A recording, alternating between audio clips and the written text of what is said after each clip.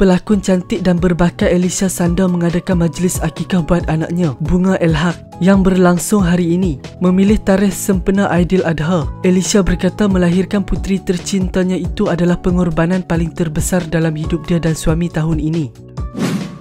Guys, sebelum kita lanjutkan kepada anda yang belum lagi subscribe, apa kata anda subscribe dan tekan butang loceng untuk notifikasi video selanjutnya. Melahirkanmu adalah pengorbanan yang paling besar untuk mami. Pengorbanan daddy kamu bangun setiap malam untuk tukar lampin dan susukan kamu serta pengorbanan ramai orang untuk jayakan majlis akikah kamu hari ini. Masya Allah anak mami ini sangat bertuah. Ramai orang sayang katanya. Menurut Alicia, dia berharap apabila anaknya sudah semakin membesar, dapat menjaga hati ramai orang selain menghargai pengorbanan mereka. Dalam masa sama, Alicia turut mengucapkan selamat hari raya Adha buat seluruh peminatnya. Alicia dan suami Uzair Hakimi berkahwin pada 21 Ogos tahun lalu. Pasangan itu dikurniakan cahaya mata perempuan pada 18 Jul lalu.